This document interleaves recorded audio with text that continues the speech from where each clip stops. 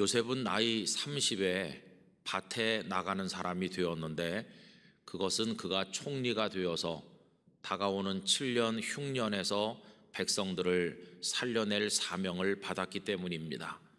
그는 밭에 나갔고 밭의 소출들을 모아서 흉년에 대비하게 되었는데 창세기 41장 46절로 49절까지 말씀이 이렇습니다. 요셉이 애굽 왕 바로 앞에 설 때에 30세라 그가 바로 앞을 떠나 애굽 온 땅을 순찰하니 일곱 해 풍년에 토지 소출이 심히 많은지라. 요셉이 애굽 땅에 있는 그 7년 곡물을 거두어 각 성에 저장하되 각 성읍 주위의 밭의 곡물을 그 성읍 중에 쌓아둠에 쌓아둔 곡식이 바다 모래같이 심이 많아 세기를 그쳤으니 그 수가 한이 없음이었더라 이렇게 되어 있습니다. 요셉은 늘 밭에 나가서 곡식을 거두어 흉년에 대비했는데 그는 늘 마음을 밭에 두고 밭을 바라보는 사람으로 살았던 것을 알게 됩니다. 그런데 요셉이 애굽에 가자마자 처음부터 밭으로 나간 건 아니질 않습니까? 그가 밭에 나가기까지 그는 여러 곳을 거쳐야만 했는데 그가 처음 시작한 곳은 보디발의 집이었습니다. 보디발의 집에서 시작해서 밭에 나가는 사명자가 되기까지 그의 삶의 과정입니다. 그러면 그가 처음 시작한 보디발의 집은 그에게 어떤 곳이었을까요? 요셉이 보디발의 집에 도착할 때 그의 전 생애 가운데서 거의 가장 최악이었다고 말할 수 있을 것입니다. 보디발의 집에 도착을 하니까 그는 노예의 신분으로 전락을 해 있는 거 아닙니까? 보디발이 요셉을 산이라 오늘 본문에 그렇게 시작되고 있지요. 돈에 의해서 팔려가는 신세, 세상에 그보다 더 비참한 신세는 없을 겁니다.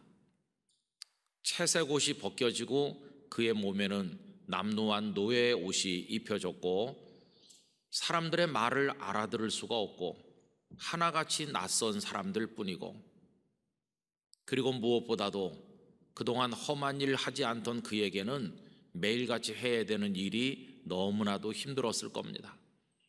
자기보다 낮은 사람이 한 명도 없는 가장 낮은 자리, 그 집에 일하는 사람이 많았겠지만 그는 이제 신참이어서 가장 낮은 자리에 있었을 겁니다.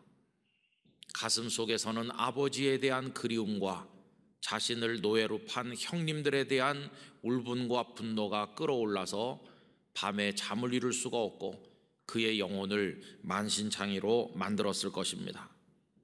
무엇보다 견딜 수 없는 것은 이 상황이 언제 종료될는지 희망을 가질 수가 없다는 겁니다.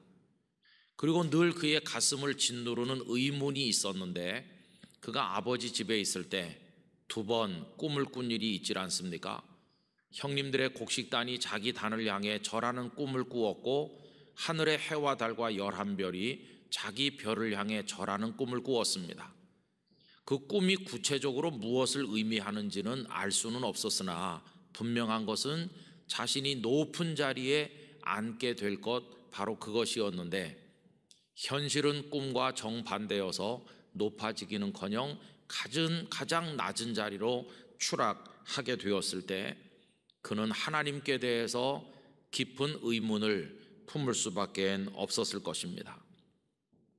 여러분, 요셉에게 있어서 보디발의 집, 우리는 이렇게 생각을 해볼 수가 있겠습니다.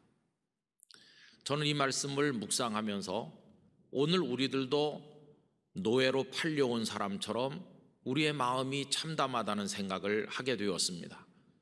여러분, 우리가 살고 있는 이 거대한 세상은 그 자체로 보디발의 집과 다를 바가 별로 없습니다.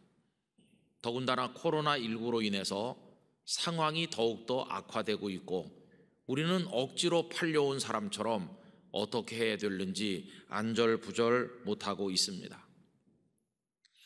여러분, 어제까지만 해도 전 세계에서 코로나에 감염된 사람이 8,800만여 명이 된다고 합니다. 그 중에서 190여만 명이 사망했습니다. 절차를 따라 정중한 장례도 못하고 시체를 처리하는 상황에서 장례가 되는 경우도 많이 있다고 합니다. 얼마나 비참한 상황입니까? 백신 전쟁으로 인해서 나라와 나라 사이의 간극이 점점 벌어지고 있고 경제가 바닥으로 치닫고 있고 그리고 많은 사람들이 미래가 암담하여 못 견딜 고통을 겪고 있습니다. 어떤 이는 이 심리적 압박을 견디지 못해서 코로나에 감염된 것도 아님에도 불구하고 자살을 하고 있다는 뉴스를 듣기도 하였습니다. 더군다나 우리 성도들은 예배당 예배를 드리지를 못하고 계시지 않습니까? 지난 3월 첫 주일 예배를 돕는 소수 인원만 참석한 채로 온라인 예배로 전환된 이후로 몇 차례 변화는 있었지만 전 성도가 다 같이 참여하는 예배를 단 한 주도 드리지를 못하였습니다. 제가 대충 생각을 해보니 예배 섬김이들만 참여한 오늘 드리는 예배와 같은 예배를 드린 기간이 무려 석 달 반 이상 된다는 것을 알게 되었습니다. 일부 성도들이 오실 때도 있었지만 전체 숫자에 비하면 너무나도 미미한 성도들만 참여하셔서 예배를 드리고 있는 이 답답함이 얼마나 큽니까? 오늘 우리 예배도 이런 상황에서 계속되고 있으니 너무나도 안타깝습니다. 과연 우리는 이 세상이라는 보디발의 집을 잘 견딜 수 있을까? 이런 의문점을 가지지 않을 수 없습니다. 그래서 여러분, 우리보다 먼저 보디발의 집에서 살아본 요셉을 만나서 인터뷰를 해보면 어떨까 생각도 해봅니다. 어떻게 살으셨느냐고, 거기서 어떻게 견디고 그 집을 통과했느냐고 묻고 싶은 생각이 있는 것이죠. 우리가 요셉을 만나서 인터뷰를 하면서 어떻게 사셨어요? 물으면 그분은 뭐라고 대답할까요? 얼굴이 일그러지면서 형들에 대한 분노, 하나님에 대한 원망으로 화를 쏟아놓으면서 불평을 늘어놓을까요? 아마 우리 생각에는 그럴 거라고 예상이 될 수도 있습니다. 그런데 오늘 성경 말씀을 읽어보면 요셉이 하게 될 말은 우리의 예상을 뛰어넘는 전혀 다른 이야기가 될 것을 알 수가 있습니다. 바로 거기에 오늘 본문에 반전이 있다고 이야기할 수 있을 것입니다. 오히려 그는 고통 속에 몸부림쳤노라고 말하기보다는 마치 보디발의 집에서 행복하기라도 했다는 듯이 말하지 않을까 생각을 해봅니다. 아마 이렇게 말할 것 같습니다. 영락교회 성도 여러분 반갑습니다. 저는 여러분들이 좋아해 주는 요셉입니다.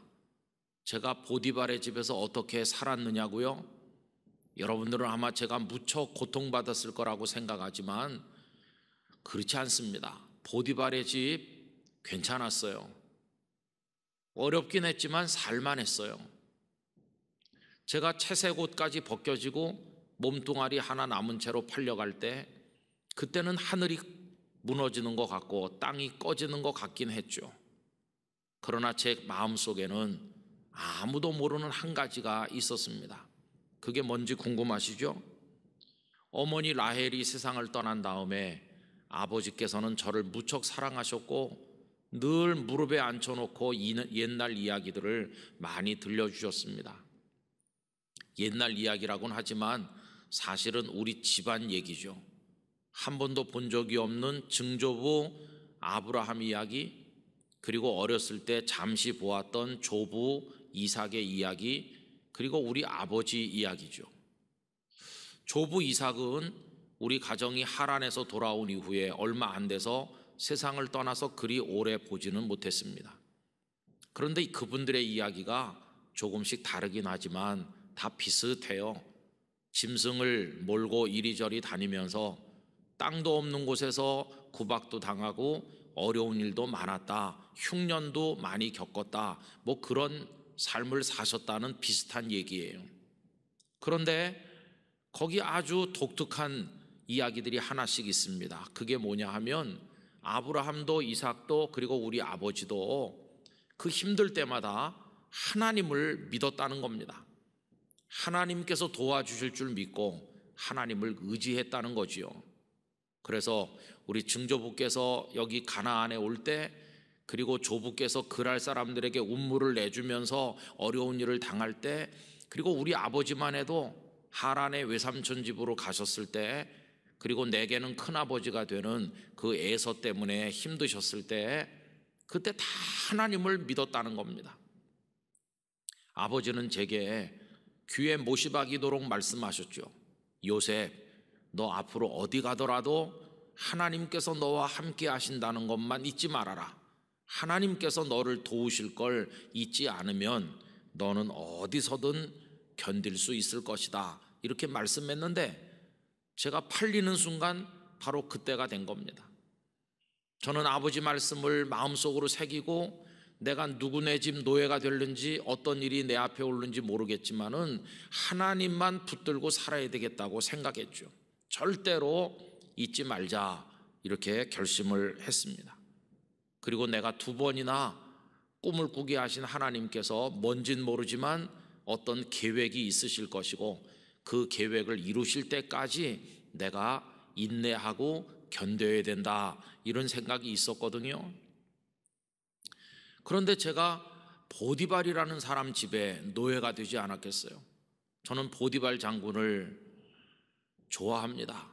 왜냐하면 그 양반이 나를 사지 않았더라면 더 나쁜 사람에게 팔려가서 고생할 수도 있었는데 그래도 그 사람 괜찮은 사람이거든요.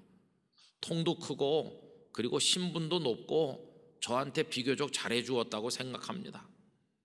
그리고 참 이상한 것은 하나님을 믿었더니 놀라운 일들이 있었다는 거예요. 제가 어떤 일 아무것도 해본 적이 없고 미숙한데 제가 일을 하면 잘 되는 겁니다. 하여튼 다른 사람들보다 더 잘했거든요. 그랬더니 주인이 어느 날 살림살이 전부를 저보고 맡으라고 했지 않겠습니까? 그런데 그 다음부터 하나님께서 복을 주셔서 그 집 재산이 많이 늘어나고 더 잘 됐어요. 그러자 주인은 모든 걸 내 마음대로 하라 이렇게 맡겼고요. 저는 좋은 옷 입고 좋은 거 먹고 그 집에서 잘 살았어요. 이렇게 생각해 보면 아버지가 그리워서 눈물 지은 날도 많긴 했지만 그래도 그 보디발의 집이 살만했어요. 저 결론적으로 말하면 괜찮게 잘 살았답니다. 아마 이런 이야기를 요셉이 우리에게 할 것이라고 생각합니다. 그럼 여러분 요셉의 이 말이 거짓이거나 과장일까요? 여러분 그렇지 않습니다. 오늘 읽은 본문의 말씀이 요셉의 이야기가 하나도 거짓이 아니었다는 사실을 우리에게 말해주고 있질 않습니까? 우리 생각에는 요셉이 팔렸다고 하는 이야기로 시작되니까 그 다음에 나오는 얘기는 그가 고통받고 신음하고 몸부림치고 하나님 원망하는 그런 이야기로 가득 차 있어야 될 것 같은데 팔렸다고 하면서 갑자기 형통했고 갑자기 다 잘 됐다는 식으로 반전을 보여주고 있다는 겁니다. 오늘 말씀 2절과 3절을 보십시오. 여호와께서 요셉과 함께 하심으로 그가 형통한 자가 되어 그의 주인 애굽 사람의 집에 있으니 그의 주인이 여호와께서 그와 함께 하심을 보며 또 여호와께서 그의 범사에 형통하게 하심을 보았더라.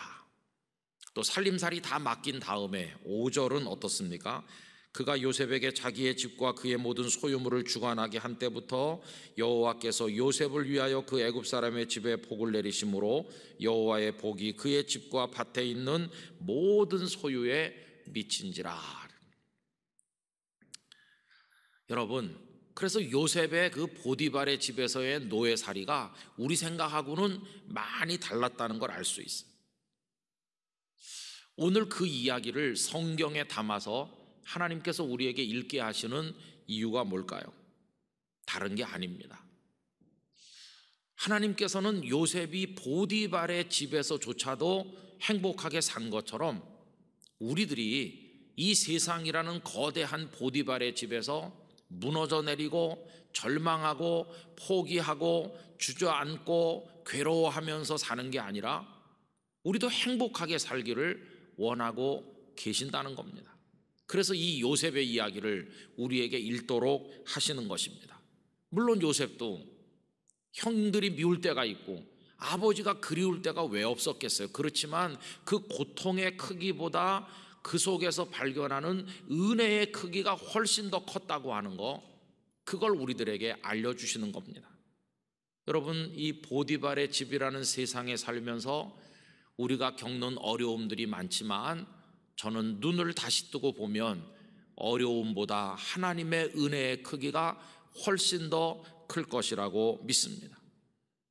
이제 우리 영락교회 성도들은 눈을 다시 뜨고 다시 볼 수 있게 되기를 원합니다. 그래서 절망 속에서도 하나님의 빛을 보시게 되기를 원하는 것입니다. 여러분, 캄캄한 곳에 있으면 빛이 더 선명하게 보입니다. 생각해 보세요. 전등불이 환하게 밝혀져 있는 방에서는 햇살을 느끼기가 어렵습니다. 그러나 불 꺼진 방, 문 닫힌 방에 있으면 캄캄하지만 문 틈으로 들어오는 햇살이 더 밝게 선명하게 보이는 것처럼 하나님의 은총도 어두울 때 더 잘 보입니다. 2021년을 코로나19와 함께 출발한 우리들 지금 심정이 보디발의 집에 팔려온 요셉의 심정과 비슷하죠. 우리가 원해서 온 게 아닌데 팔려온 것처럼 이끌려온 것처럼 우리가 지금 그렇지 않습니까? 그러나 만약에 여기서 포기하고 주저앉고 절망하고 그냥 그대로 쓰러지고 만다면 우리는 밭으로 나갈 수 없을 겁니다. 밭으로 나가는 사람이 되려면 보디발의 집을 통과해야 그 다음에 밭으로 나가게 되는 것이죠. 여러분, 우리도 보디발의 집을 통과하고 우리도 사명의 밭을 향해 찬송하며 나가게 되기를 원합니다. 여러분, 성도는 좀 달라야 됩니다. 저는 영락교회 성도들이 보디발의 집에서의 삶을 즐길 수 있는 영적인 여유와 능력을 하나님으로부터 받게 되시기를 기원합니다. 우리가 보디발의 집조차도 행복하게 살아갈 수 있는 근거는 어디 있는가? 다른 데 있는 것이 아니라 아버지 하나님께서 요셉과 함께 하시듯 우리와 함께 하시고 요셉을 도우신 것처럼 우리를 도우실 것이라는 바로 그 사실에 있는 것입니다. 코로나의 어둠에서 하나님의 은총의 빛을 더 밝게 보고 느끼며 살아가게 되기를 원합니다. 최근에 제가 자주 말씀드렸던 리차드 범브란트 목사님께서 독방에서의 설교라고 하는 작품을 남겼죠. 여러분, 독방, 캄캄한 방, 저 지하 음습한 방, 거기가 그분의 보디발의 집이었어요. 근데 그곳을 어떻게 통과하셨나? 제가 그 시작되는 부분의 일부를 군데군데 발췌해서 어, 읽어드리고자 합니다.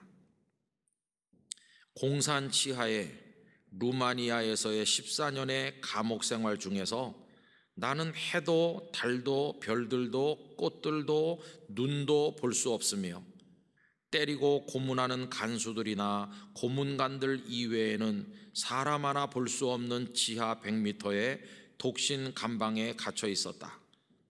그 감방에서는 소리조차 거의 들을 수 없었다. 간수들은 바닥이 펠트로 된 구두를 신고 있어서 심지어 그들의 발자국 소리조차 들을 수 없었다.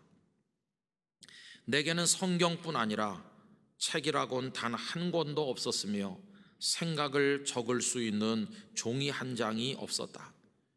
우리에게 쓰라고 요구해 오는 것이라곤 우리 자신들과 다른 사람들의 잘못을 폭로하라는 고발장 뿐이었다.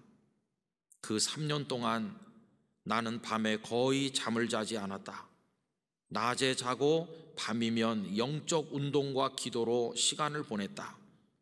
나는 매일 밤 설교를 짓고 언젠가는 석방 될 것이라는 가날픈 희망을 가지고 있었으므로 그 설교를 외워 놓으려고 생각했다. 나는 아직도 약 350편의 설교를 생생하게 기억하고 있다. 이 설교들에 대한 평가는 교리적 입장에서 내려져서는 안 된다. 나는 그 당시 교리에 의해 살지 않았다. 우리의 영혼은 그리스도에 관한 가르침을 먹고 사는 것이 아니라 그리스도 그분을 먹고 산다. 좀 내려가서 보면요. 당신도 외로운 독신 감방으로 내려가라. 그러면 당신은 거기 예수님과 단 둘이 남게 될 것이다. 그 감방은 신방이 될 수도 있고 영혼의 고문실이 될 수도 있을 것이다. 그리고 또 몇 줄 내려가면 이렇습니다. 그리고 당신은 드디어 예수님께 말씀 드릴 수 있게 될 것이다. 술람미 여인처럼 나는 비록 검지만 아름다워요 라고 우리는 깊은 어둠 속으로 내려왔다. 여기서 당신은 깊은 곳이 가하는 무거운 압력도 느끼겠지만 그러나 거기서 황홀함도 느끼게 될 것이다. 여러분 지하 100m 소리도 들리지 않는 캄캄한 독방에 갇혀 있으면서 그분은 거기서도 은총의 빛을 보았다는 것입니다. 그리고 끊임없이 감옥의 설교자로 설교하였습니다.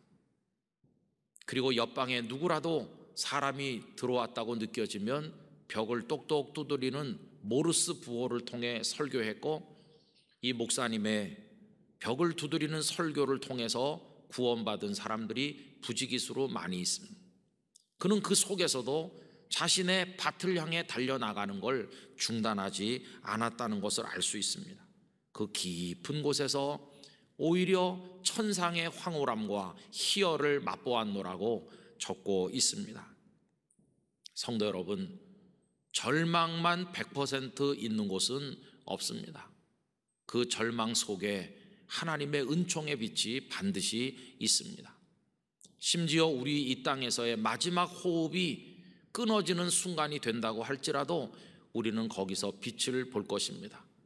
오히려 그 순간에 우리가 보게 될 빛은 살아있는 동안에 본 빛보다 훨씬 밝고 강렬할 것입니다.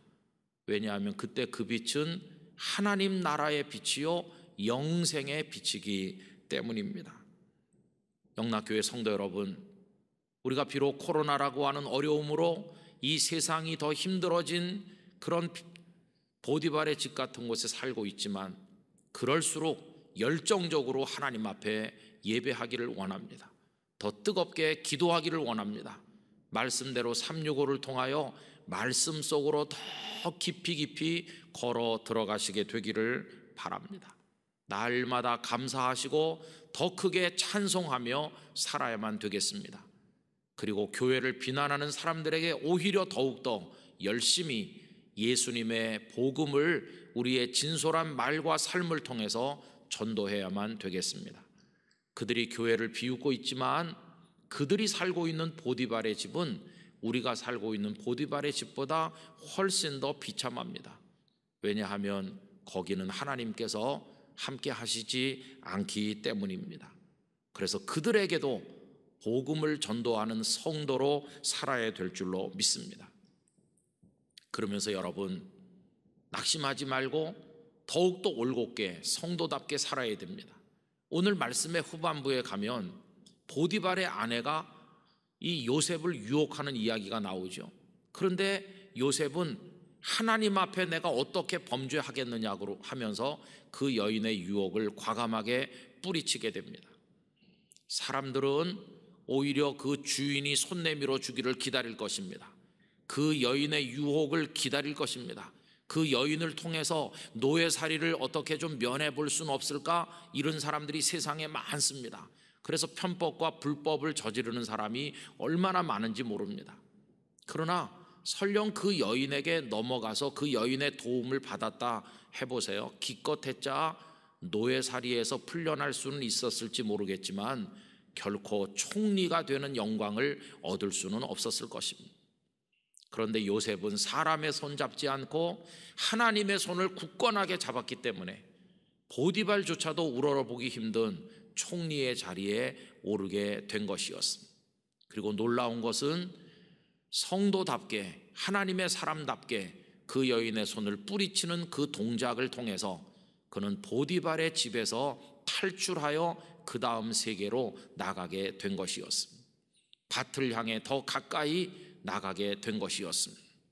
여러분, 어려우면 사람들은 될 대로 되라는 식으로 살기가 쉬운데 우리 성도들은 세상이 어두워지고 힘들어질수록 거룩한 고집을 가지고 성도다운 올곧음으로 발음으로 우리의 믿음을 지켜나가야만 될 것입니다.